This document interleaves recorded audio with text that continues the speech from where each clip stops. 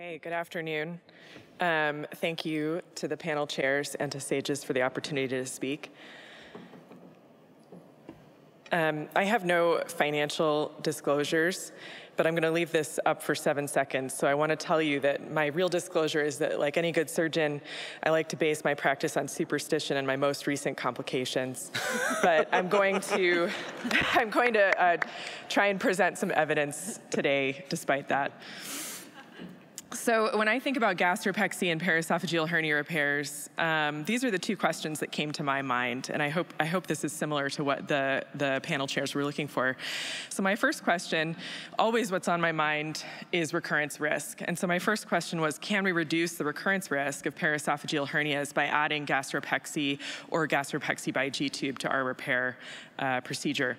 And then the second question that comes up is, can we reduce surgical risk by performing gastropexy alone.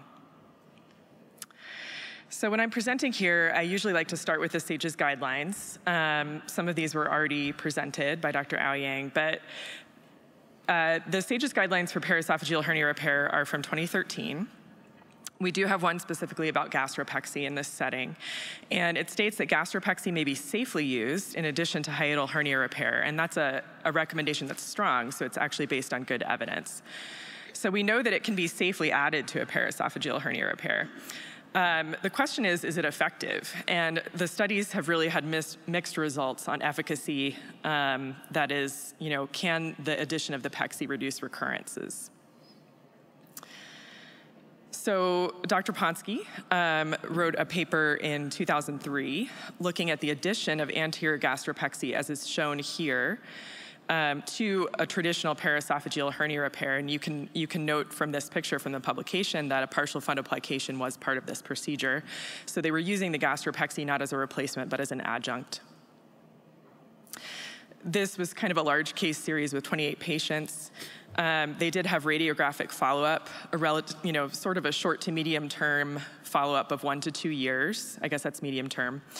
Um, and they actually had no recurrences in this series in that time frame, which I think is, is great. Um, and as I noted, all of the patients also had had uh, fundoplication in that series. There's a larger series out of France more recently uh, with 89 patients. These patients also had radiographic follow-up at two years. Um, in this series, they had enough patients to have some recurrences, eh, but they did find a statistically significant difference between the groups that had the addition of the gastropexy and without the gastropexy. So my summary for question one is that I actually think that addition of gastropexy may reduce recurrence risk when other key aspects of repair are performed. So excision of the sac in the chest, esophageal lengthening procedure as Dr. Galvani illustrated, and um, you know, your repair of the hiatus or your crural closure. So the second question that I brought up is, can we reduce surgical risk by potentially performing gastropexy alone? So what, what am I talking about surgical risk? Because really, laparoscopic paraesophageal hernia repair is a fa fairly low, maybe moderate risk procedure these days, I think in most of our hands. But some of the things I think about are that, um, you know, prolonged general anesthesia for our elderly patients can result in durable cognitive decline. Um, and then uh, capnothorax is also something that we may face. It's not always uh, terribly clinically significant in terms of postoperative complications, but those are some of the things that I think about when I think about how could we reduce risk further. And so I think about this type of case of, you know, potentially an uh, especially elderly or frail patient that you're seeing in your clinic with this problem, as many of these patients are, or um, as was mentioned previously, you know, potentially a more urgent or emergent case with gastric volvulus, um, where the patient's, uh, you know, emergent presentation results in additional operative risk.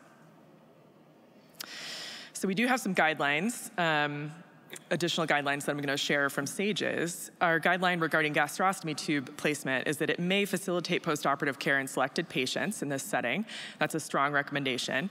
Um, so the addition of gastrostomy tube has been suggested potentially for venting, for bloating symptoms, or delayed gastric emptying um, and potentially for nutrition or giving medications. We also have this guideline that hernia reduction with gastropexy alone and no hiatal repair may be a safe alternative in high risk patients, but may be associated with high recurrence rates. That's weak, so it's not based on great evidence. Um, but the recommendation that formal repair is preferred is a strong recommendation, so based on, on better evidence. So um, as I mentioned, those guidelines are from 2013. So I did want to review some of the evidence that's been published since then. So there is a case series from Kentucky um, uh, looking at uh, gastropexy alone, basically, and their conclusions um, after you know looking at, at, their experience was that laparoscopic paraesophageal hernia repair um, is should be the standard of care for giant paraesophageal hernias, but that patients with high operative risk could be candidates for a shorter operative intervention like gastropexy. And um, in these patients who receive gastropexy alone, the continued use of antacids is more common, sometimes required. Um, but that gastropexy, in their experience, did restore the ability to tolerate meals and resulted in excellent patient satisfaction. Arevalo published a study out of Indiana. It, so in this in this series, they were looking exclusively at emergent repairs. So they had they reviewed 13 emergent repairs and these were elderly patients. Um, they performed an anterior cruroplasty, so they did do some repair of the hiatus in all of these patients in addition to the gastropexy. Um, and the gastropexy technique with T-fasteners is shown in this, uh, in this illustration from the publication. They did not have any mortalities in their series. They concluded that uh, laparoscopic paraesophageal repair with adjunct gastropexy or G-tube placement should be considered in emergent cases for elderly patients with predominantly obstructive symptoms as an alternative to fundoplication.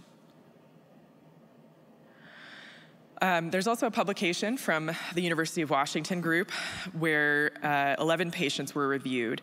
These were um, not all emergent, potentially elective, but they were elderly patients who were considered to be frail um, and therefore were considered for sort of a shorter operative time intervention of gastropexy.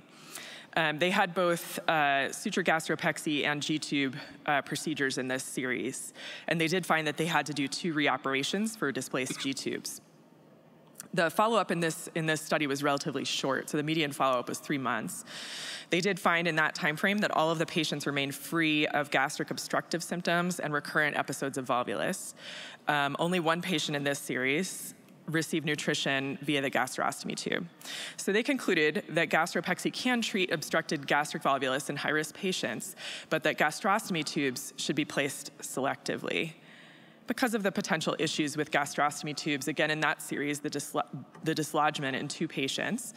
Um, I also worry sometimes about increased postoperative pain in patients with transfascial sutures for a sutured gastropexy or with a G-tube. So there was a recent review. Um, so these are not my conclusions, but these are the conclusions from that review by Dreyfus and colleagues, that most of the available recommendations for paraesophageal hernia repair are based on prospective and retrospective reports with relatively low numbers, lack of standardized surgical technique, and outcomes.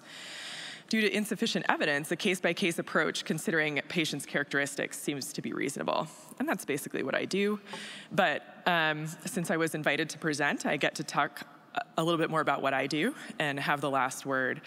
Um, I do gastropexy every fundoplication at the hiatus, and a, an illustration of that is, is basically shown here. As far as the anterior gastropexy, um, I've used it uh, not frequently, but I have used the anterior approach along the greater curvature, especially for cases of recurrence um, with volvulus, recurrent hernias, or occasionally for primary paraesophageal hernias that I'm repairing that are, are very large with gastric volvulus, where I think they may have a higher recurrence risk. Um, and actually, after doing this review, I think I may consider using the anterior gastropexy approach more commonly in my larger hernias, because really anything I can do to re reduce recurrence would be fantastic. Um, and then with regard to G-tubes, really we should only be putting those in if we think there's a separate indication to have a G-tube for the patient. For example, you know, malnutrition, oropharyngeal swallowing issues, um, those typical reasons why you might think about putting in a G-tube. And otherwise, I think if you want to add gastropexy, it's safer to use a sutured approach. Thank you.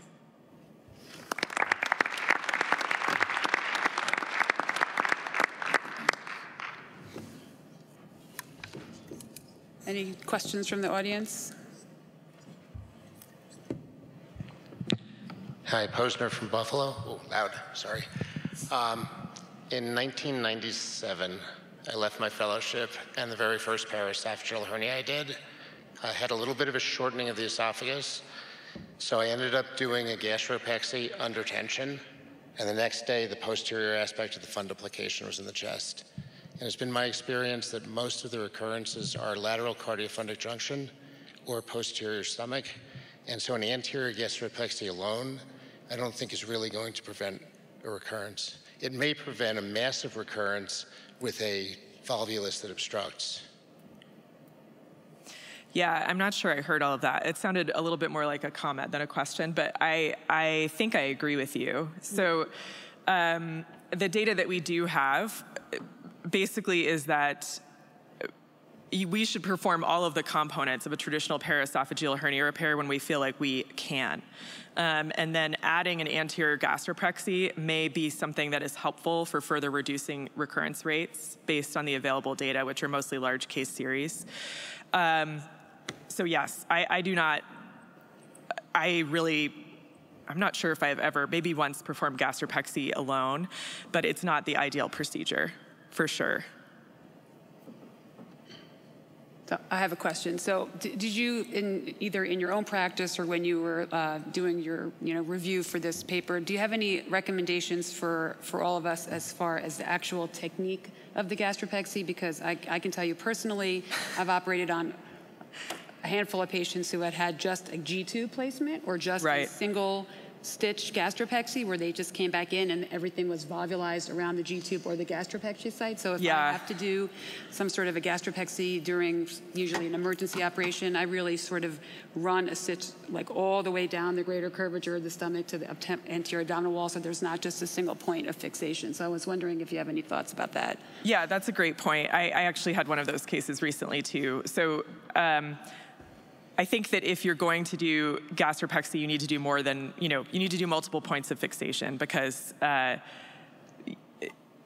that's that's just more secure. Um, and so the the generally recommended or published method of doing this, which is what what I do, is to put multiple sutures along the greater curve and bring them out through the abdominal wall in in roughly the location where you would bring out a G tube, right, um, in that area.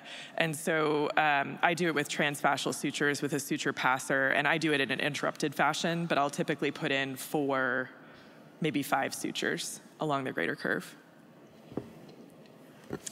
Ellen, one question. So for your for your gastropexies, like what do you have some algorithm or just the giant paras get a pexy or like who do you decide, like who gets a?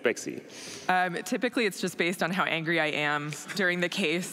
But no, I, I, mean, I, I, I, do. I think, like I said, recurrent hernias, I'm more likely to do it because I, I are, like they've already failed once. So I kind of want to use a kitchen sink approach. Um, but yeah, I think patients who are starting out with, you know, the really the giant giant paraesophageals with gastric volvulus, I'd be more likely to do this because really, as you mentioned, I don't think that, as our, our audience uh, member mentioned, the anterior gastropexy isn't necessarily going to prevent that recurrence at the hiatus, but it can prevent somebody from totally reherniating and volvulizing again. And so that's the patients where I think about it more.